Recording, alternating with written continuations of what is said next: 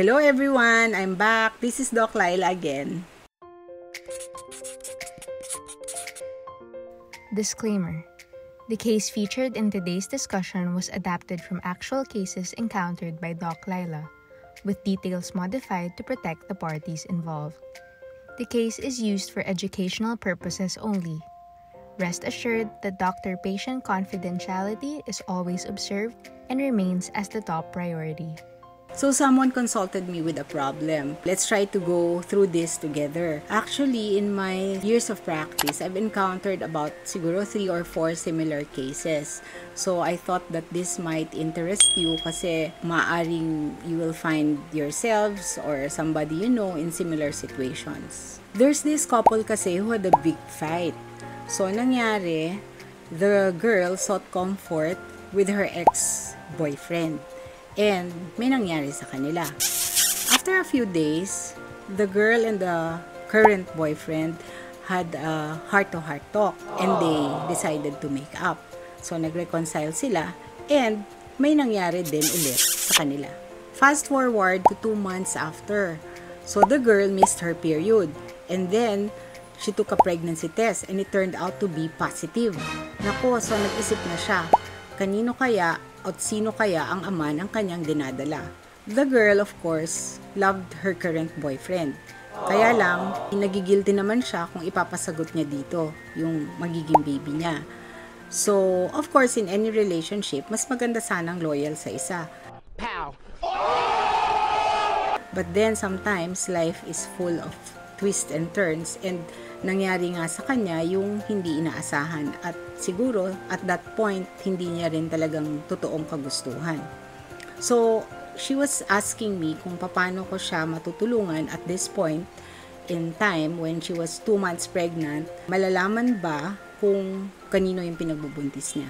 Siyempre, the best way is to do a paternity test, di ba? Pero sa pagkaalam natin, magagawa lang ito kung lumabas na yung baby at that's about 7 months away. So, sobrang malaking stress and anxiety ang kanyang pagdadaanan. And more or less, gusto na niyang makahanap ng kasagutan. Just in case also na i-confront siya ng isa sa dalawa niyang naging partner. Pero alam niyo ba na pwede naman talagang mag-paternity test before delivery while the baby is in utero, pwedeng, may mga uh, pwedeng gawin to test the DNA. Pero yung usual mga invasive procedures, actually they were devised to uh, determine genetic or uh, congenital abnormalities. Ang tinutukoy ko ay ang pagko-collect ng amniotic fluid through amniocentesis or uh, yung pagko-collect ng samples of the placenta by chorionic bilus sampling. So this is done during the first trimester of pregnancy. But as I said, these are invasive procedures, no? May mga long needle na introduce through the uh, vagina to get samples of the placenta or uh, transabdominal to get samples of the amniotic fluid. And medyo ito may mga uh, kasamang complications. One of them is miscarriage. In fact, abroad, yung mga ibang nagpapagawa ng ganito ay nagpapa-insure pa para lang makatiyak na magiging safe sila uh, in case something happens. But recently, through the years, may na-develop na rin na proseso wherein meron yung tinatawag na non-invasive method of paternity testing. Ang rationale dito is that yung fetal blood, which has, uh, of course, uh, samples of the fetal DNA, passes through the placenta and mixes with the blood of the mother. So, naka-devise sila ng series of tests or processes by which pag kumuha ka ng blood sample ng nanay, ipa, uh, iaano mo yan, ipaprocess mo through many uh, chemical reactions, i-isolate mo yung fetal DNA.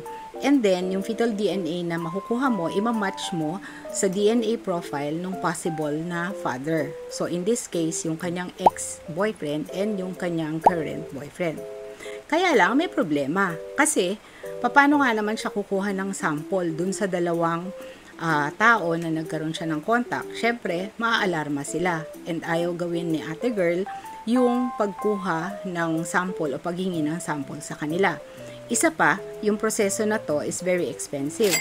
Uh, we have uh, DNA testing centers here, no, mga private institutions, and they charge about 60 to 70,000 for this kind of procedure as opposed to the DNA testing which is cheaper na yung gagawin mo pag lumabas na si baby. So, ang kaya lang ibigay sa akin ni mother to be ay yung kanyang menstrual history which includes the first day of her last menstruation, yung regularity of her menstrual cycles, at saka yung day na nag-contact sila. So, using this, kakayanin ko ba na more or less i-pinpoint o i-estimate kung sino kaya ang ama sa dalawa?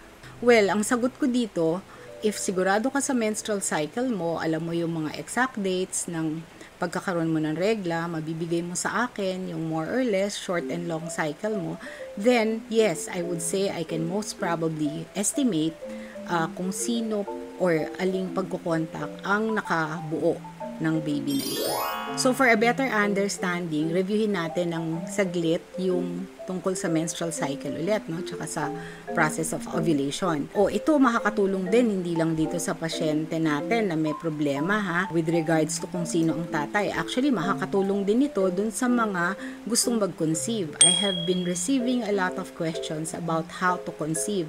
And unang-unang dapat natin tignan, baka naman hindi nyo lang talaga nalalaman yung proper timing. Baka yun lang yung problema nyo at wala nang mas deeper problem pa. So in my first episode, I mentioned that the menstrual cycle involves a series of hormonal changes which a woman goes through every month in preparation for a possible pregnancy. So, sa menstrual cycle, ang isang sa mga nagre-respond yung endometrium. So, yung endometrium, after magregla, magre-respond sa hormones at unti-unti na naman siyang kakapal para ang purpose niya ay mag-prepare sa possible pregnancy. So, pakapal yan ng pakapal. Pero, pag walang pagbubuntis na nangyari sa dulo, magre-regla ka na naman. So, ninipis na naman siya. Ngayon, doon naman sa ovarian cycle, yung follicles o isang follicle in one of your ovaries will also undergo a series of changes. No? So, lalaki ng lalaki, tataba ng tataba. Ang purpose nito ay para mag-release ng isang egg. Uh, yung part na yon ang tawag natin doon ay follicular phase. Tapos, pag na-release na yung egg, hanggang dun sa kung magbuntis o hindi, ang tawag naman dito ay luteal phase. So, once na-release yung egg, yung cells na nasa palibot ng egg, magiging corpus luteum. Yung corpus luteum, magpo-produce yan ng progesterone, hormone yan, dagdag, para mas pakapalin pa tong lining ng matres. Para in case na yung egg ay may mamit na sperm, siya ay mag implant dun sa lining ng matres. Pero, kung hindi mangyayari yung pag-meet ng egg at sperm, uh, in 14 days, magkakaregla ang isang babae. So, very consistent yan from the start of ovulation or from the release of the egg up to the time, up to 14 days, consistent na after that, pag walang fertilization at implantation na nangyari, magre-regla ang isang babae. So, uh, laging tandaan natin, 14 days before your next mens, dun ka nangitlog. Dun ka nag-ovulate. So, uh, paano natin ito i-apply? In a woman who has a 28-day cycle, every 28 days siya nagregla, 28 minus 14 days prior, dun siya nag-ovulate. So, yun yung time na lumabas ang egg niya. Kung 30 days ang cycle niya minus 14, dito siya nag-ovulate o day 16. Kung 29 days ang cycle niya minus 14, dito siya nag-ovulate. So, ngayon, ma-apply na natin ito doon sa ating pasyente, no? Na medyo na mong problema.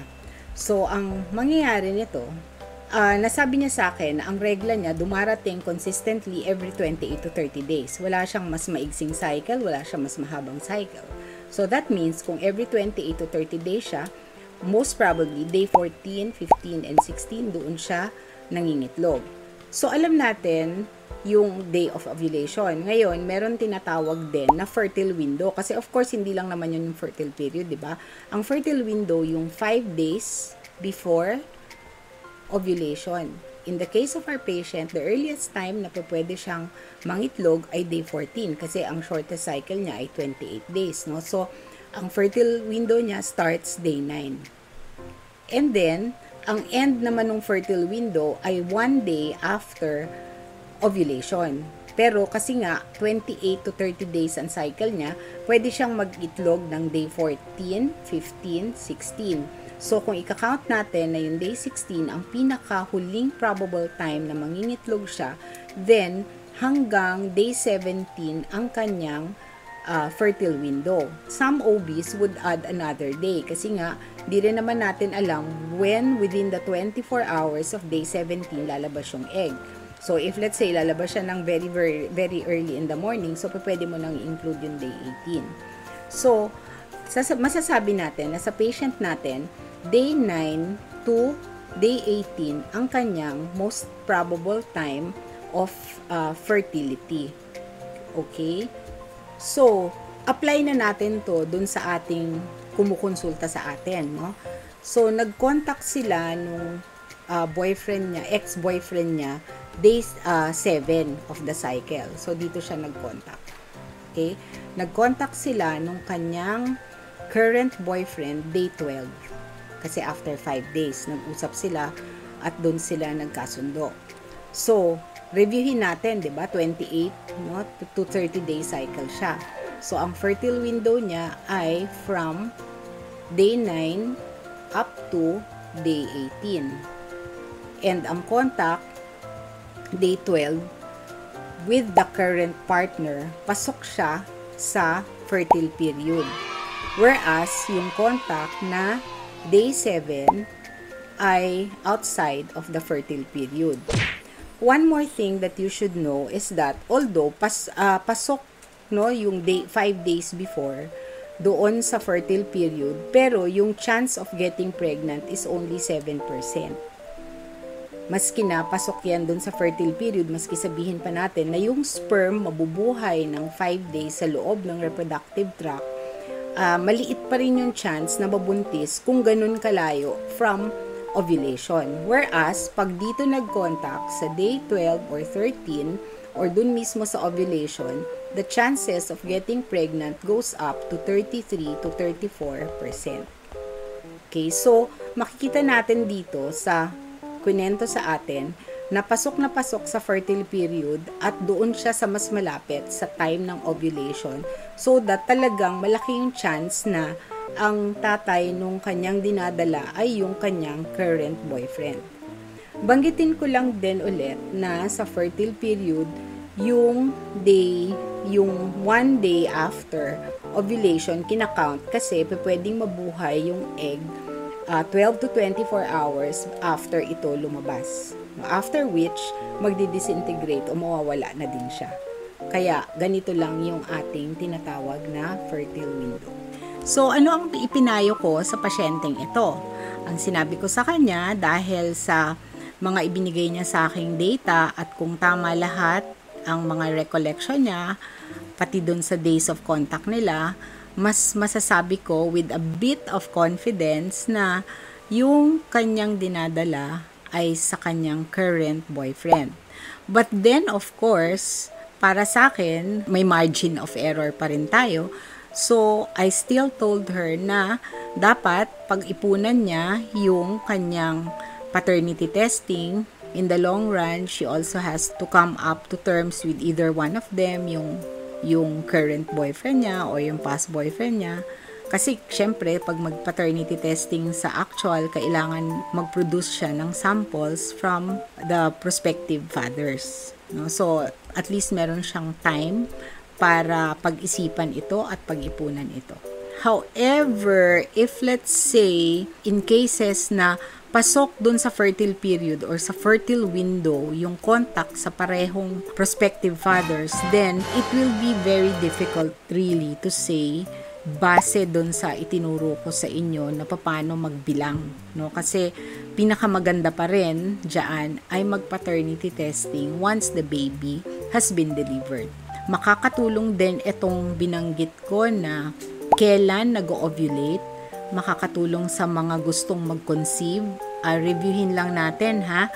From the first day of your next mens, uh, of your current mens, nag-ovulate ka 14 days before. So, importante talaga na alam mo yung cycle ng mens mo. Kung nasa 35 day cycle ka, uusog yung iyong fertile period or time of ovulation. Day 21 ka mangingitlog. So day 16 ang simula ng iyong fertile period or fertile window.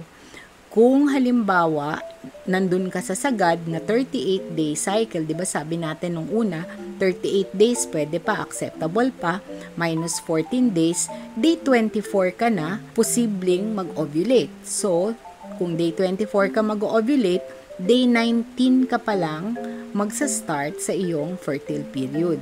And for the next 7 to 8 days, fertile ka. So, uh, yun yung take home natin dito, no? Very important pa din for us to know ourselves very well, yung menstrual cycle natin. Kasi baka yun lang din yung nami-miss out natin for cases na trying to conceive. So, nakakatulong din po itong information na ito dun sa mga gustong makabuo. No? And dun sa mga nakapasok sa mga problema na katulad nito, well, of course, I would say, sana iwasan na lang natin no?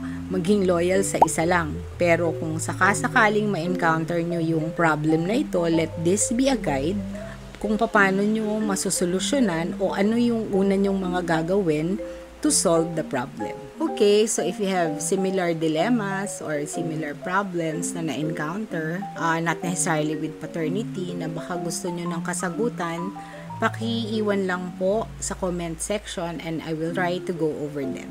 So, if you like this video, please like and subscribe to my YouTube channel. Bye! See you next time!